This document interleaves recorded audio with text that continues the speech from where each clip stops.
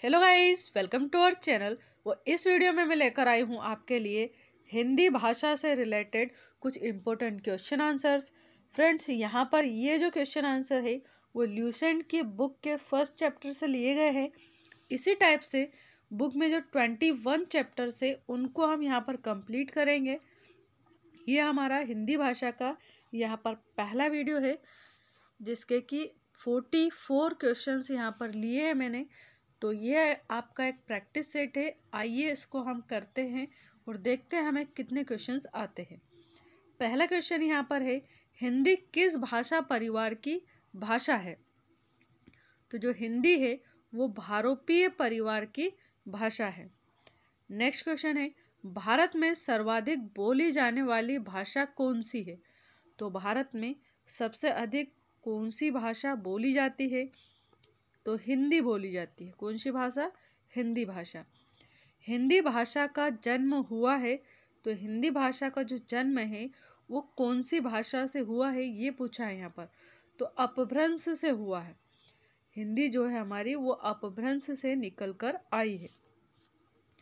निम्नलिखित में से कौन सी बोली अथवा भाषा हिंदी के अंतर्गत नहीं आती है? तो यहाँ पर कन्नौजी आती है, बांगरू भी आती है हिंदी के अंतर्गत, अवधि भी आती है, जबकि तेलुगु नहीं आती।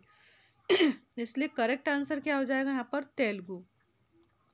नेक्स्ट क्वेश्चन है, हिंदी की विशिष्ट बोली ब्रज भाषा किस रूप में सबसे अधिक प्रसिद्ध है? तो जो ब्रज भाषा है, वो सबसे अधिक, यहाँ पर सबसे अधिक जो है वो काव्य भाषा के रूप में प्रसिद्ध है। यानी कि यहाँ पर जो काव्य की भाषा है, वो ब्रज भाषा को माना गया है। नेक्स्ट क्वेश्चन है भारतवर्ष में हिंदी को आप किस वर्ग में रखेंगे? तो जो हिंदी है, वो हमारी राजभाषा है। कौन सी भाषा है? राजभाषा। फ्रेंड्स हमें याद रखना है यहाँ पर कि भारत की कोई सी भी राष्ट्रभाषा नहीं है, यहाँ पर राजभाषा है जो कि हिंदी है हमारी। ढूंढाड़ी बोली है? तो जो ढूंढाड़ी बोली है, वो कहाँ की है? ये पूछा गया है यहाँ पर। तो पूर्वी राजस्थान की है। कहाँ की है? पूर्वी राजस्थान की। ब्रज बोली नाम से जाना जाता है। तो ब्रज बोली के नाम से किसे जाना जाता है? ये यहाँ पर बोली होगा। ब्रज बोली के नाम से किसे जाना जाता है? तो पुरानी जो बंगला है, उसे ब्रज बोली के रूप में जाना जाता है। नेक्स्ट है निम्नलिखित में से कौन सी भाषा देवनागरी लिपि, जो देवनागरी लिपि है हमारी, उससे निकल कर सॉरी उसमें लिखी जाती है, ये पूछा है। हिंदी जो है वो देवनागरी लिपि में ही लिखी जाती है। इसी प्रकार से एक और भाषा है इसमें, इन चारों ऑप्शन में, जो कि देवनागरी लिपि में लिखी जाती है तो कौन सी है? तो यहाँ पर जो मराठी है, ये देवनागरी लिपि में ही लिखी जाती है, और ये क्वेश्चन सब इंस्पेक्टर परीक्षा 2002 में पूछा गया है। नेक्स्ट क्वेश्चन है, एक मनई के दुई बेटवे रहीन।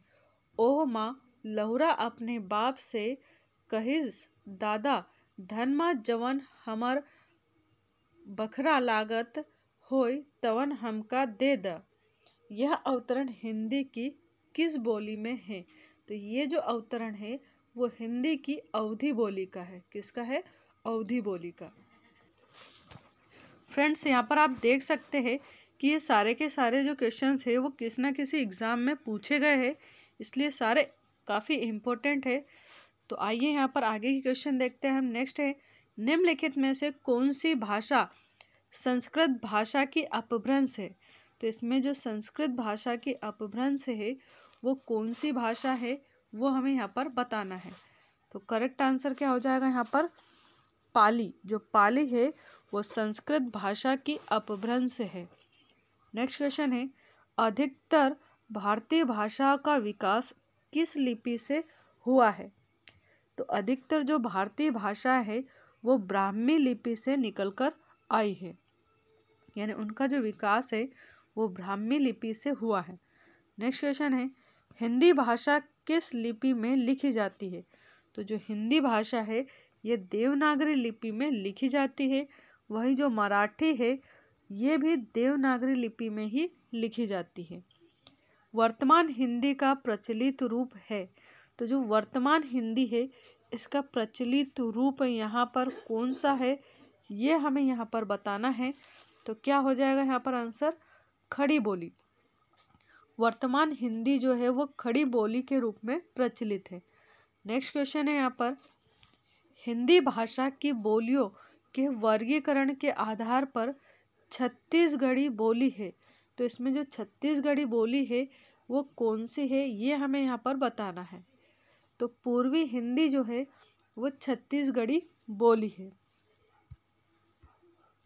नेक्स्ट है यहाँ पर, निम्नलिखित में से कौन सी पश्चिमी हिंदी की बोली नहीं है? तो पश्चिमी हिंदी की बोली यहाँ पर कौन सी नहीं है, ये पूछा है। तो इसमें सही आंसर आ जाएगा बघेली। जो बघेली है, ये पश्चिमी हिंदी की बोली नहीं है, जबकि बुंदेली है, ब्रज भी है और कन्नौजी भी पश्चिमी हिंदी की यहाँ पर बोलियाँ है, बघेली नहीं है। भारतीय संविधान में किन अनुच्छेदों में राजभाषा संबंधी प्रावधानों का उल्लेख है? तो तीन सौ तीन सौ इक्यावन तक यहाँ पर भारतीय संविधान में राजभाषाओं से संबंधित प्रावधानों का उल्लेख किया गया है।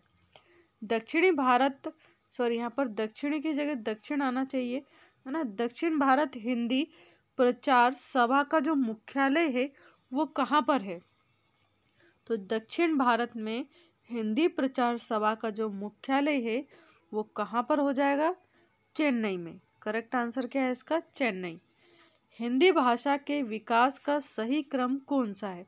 तो इसमें आपको पहचानना है कि हिंदी भाषा के विकास का सही क्रम कौन सा है, बताइए इसमें कौन सा है? तो यहाँ पर ए ऑप्शन सही है, पाली, प्राकृत, अपभ्रंश और हिंदी। सबसे पहले पाली भाषा आई थी, फिर वो चेंज होके प्राकृत बन गई, उसके बाद अपभ्रंश आई और अब जो चल रही है वो हिंदी है। नेक्स्ट है, संविधान के अनुच्छेद तीन सौ इक्यावन में किस विषय का वर्णन है? तो जो तीन सौ इक्यावन है इसमें किसका वर्णन किया गया है, ये यहाँ पर पूछा गया है। तो हमें बताना है यहाँ पर कि किसका, किससे संबंधित है ये अनुच्छेद। तो हिंदी के विकास के लिए निर्देश, यहाँ पर हिंदी के विकास के लिए निर्देश है तीन सौ इक्यावन अनुच्छेद में। नेक्स्ट क्वेश्चन देखते हैं अब। ब्रज भाषा है तो जो ब्रज भाषा है वो क्या है ये बताना है हमें यहाँ पर। तो जो ब्रज भाषा है वो पहाड़ी हिंदी है। ब्रज भाषा क्या है? एक पहाड़ी हिंदी है। मगही किस उपभाषा की बोली है? जो मगही है, वो किस उपभाषा की एक बोली है, ये पूछा है यहाँ पर। तो करेक्ट आंसर है पूर्वी हिंदी। पूर्वी हिंदी की ही एक बोली है मगही। हिंदी खड़ी बोली किस अपभ्रंश से विकसित हुई है? तो जो हिंदी की खड़ी बोली है, ये ब्राचड़ से विकसित हुई है। किससे विकसित हुई है यहाँ पर? ब्राचड़ से, है ना? नेक्स्ट क्वेश्चन देखते हैं। भाषा के आधार पर भारतीय राज्यों का जो पुनर्गठन है, वो कब किया गया था? तो मोस्ट मोस्ट आई क्वेश्चन है ये, कि भाषा के आधार पर भारतीय राज्यों की पुनः संरचना जो है वो, या पुनर्गठन जो है 1956 में किया गया था। कब किया गया था? 1956 में। भाषा के आधार पर सर्वप्रथम किस राज्य का गठन हुआ? तो भाषा के आधार पर सबसे पहले जो राज्य बना था, वो कौन सा था? आंध्र प्रदेश। आंध्र प्रदेश भाषा के आधार पर सबसे पहले बना था। बघेली बोली का संबंध किस उपभाषा से है? तो जो बघेली बोली है, इसका जो संबंध है, वो पूर्वी हिंदी से है। किससे है? बघेली का संबंध पूर्वी हिंदी से है। अभी एक और क्वेश्चन ऐसा ही अपन ने देखा था, जो कि पूर्वी हिंदी से ही था। ये मगही, जो मगही उपभाषा है, इसका संबंध भी पूर्वी हिंदी से था। और ऐसे ही यहाँ पर अपन ने देखा कि जो बघेली है और मगही है, इस, इन दोनों का ही जो संबंध है, वो किससे है? पूर्वी हिंदी से है। नेक्स्ट क्वेश्चन है, किस तिथि को हिंदी को राजभाषा बनाने का निर्णय लिया गया। तो कब लिया गया? चौदह सितंबर उन्नीस को। चौदह सितंबर उन्नीस को हिंदी को राजभाषा बनाने का निर्णय लिया गया था। 1955 में गठित प्रथम राजभाषा आयोग के अध्यक्ष कौन थे? तो 1955 में जो प्रथम राजभाषा के लिए एक आयोग का गठन हुआ था उसके जो अध्यक्ष थे, वो कौन थे? बीजी खरे थे। कौन थे? बीजी खरे। नेक्स्ट क्वेश्चन है। भारतीय संविधान की आठवीं अनुसूची में सम शामिल भाषाओं की संख्या कितनी है? तो टोटल कितनी भाषाएँ संविधान की आठवीं अनुसूची में शामिल है, वो बताना है यहाँ पर हमें। तो करेक्ट आंसर क्या हो जाएगा यहाँ पर? बाईस। टोटल बाईस भाषाएँ सम्मिलित है। हिंदी की आदि जननी है। तो हिंदी की आदि जननी किसे कहा गया है? तो संस्कृत को कहा गया है। जो संस्कृत भाषा है, इसी से हमारी हिंदी भाषा निकलकर आई है। ग्यारहवा विश्व हिंदी सम्मेलन 2018 ईस्वी का आयोजन स्थल था।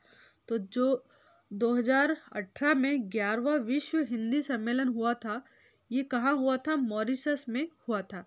और अगर दसवा पूछा जाए तो जो दसवें नंबर का है, वो भारत में, भोपाल में हुआ था।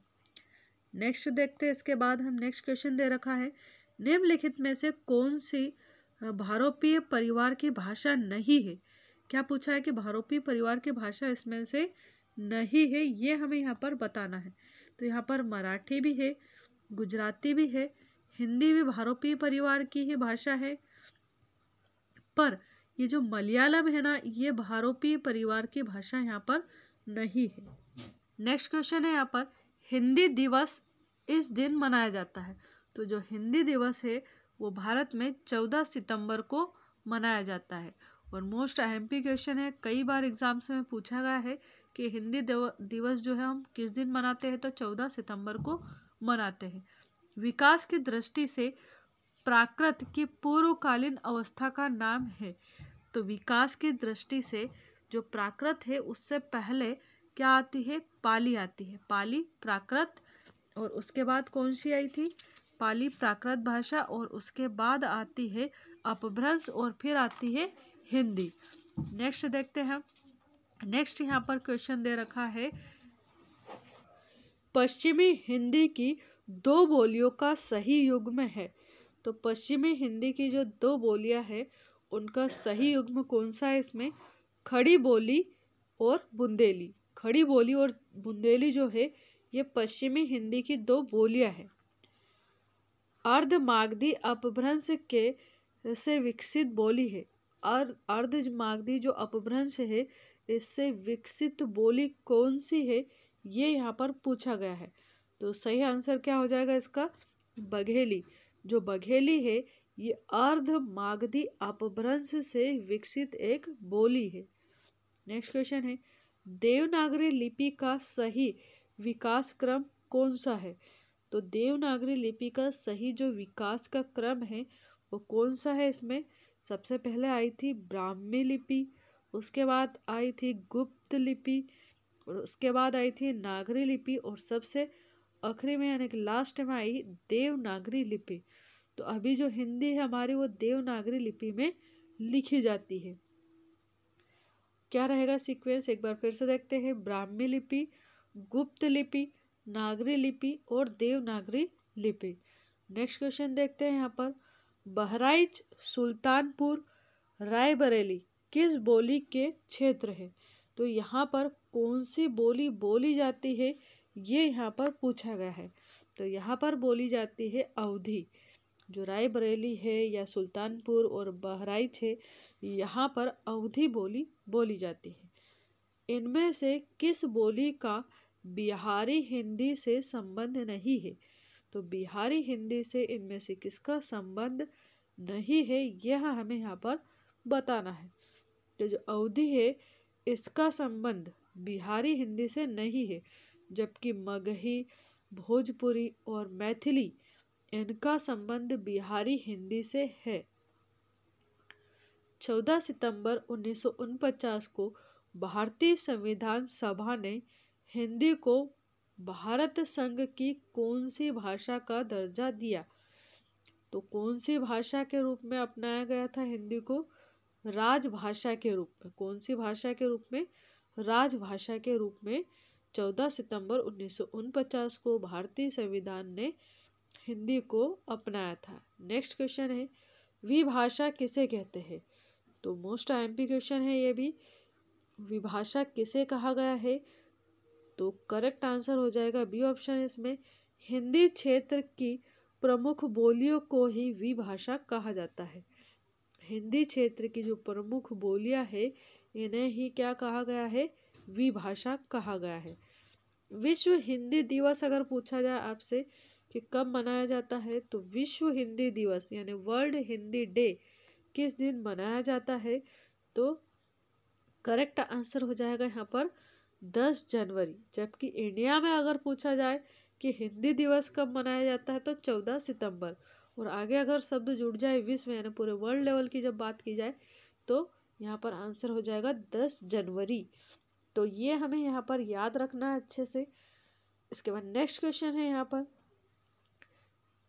इंसा अल्लाह खां द्वारा रचित रानी केतकी की कहानी का है दूसरा नाम क्या है? जो रानी केतकी की कहानी है, ये इंसा अल्लाह खां ने लिखी है और इसका दूसरा जो शीर्षक है या दूसरे नाम से इसे किस नाम से जाना जाता है, ये पूछा है। तो उदय भान चरित के नाम से इसे जाना जाता है। इस वीडियो का लास्ट क्वेश्चन है। 1950 में संविधान लागू होने के समय देसी संवैधानिक भाषाओं की संख्या कितनी थी? तो 1950 में जब संविधान लागू हुआ था, उस समय देसी संवैधानिक भाषाओं की संख्या पूछी गई है। तो कितनी थी उस समय? चौदह भाषाएँ। और अभी कितनी है? बाईस। तो चौदह भाषाएँ थी 1950 में। जिनको कि संविधान में अपनाया गया था, है ना? जब संविधान लागू हुआ था 1950 में, उस समय की बात करें तो चौदह भाषाएँ यहाँ पर प्रमुख थी। तो फ्रेंड्स, ये था हमारा आज का प्रैक्टिस सेट। जल्द ही इसका नेक्स्ट जो सेट है, वो लेके आएँगे, जिसमें कि हम वर्णमाला से रिलेटेड क्वेश्चंस सीखेंगे। तो आई होप आपको ये वीडियो अच्छा लगा होगा। अगर वीडियो अच्छा लगे तो वीडियो को लाइक और चैनल को सब्सक्राइब करना नहीं भूलिएगा। And thank you so much for watching this channel thank you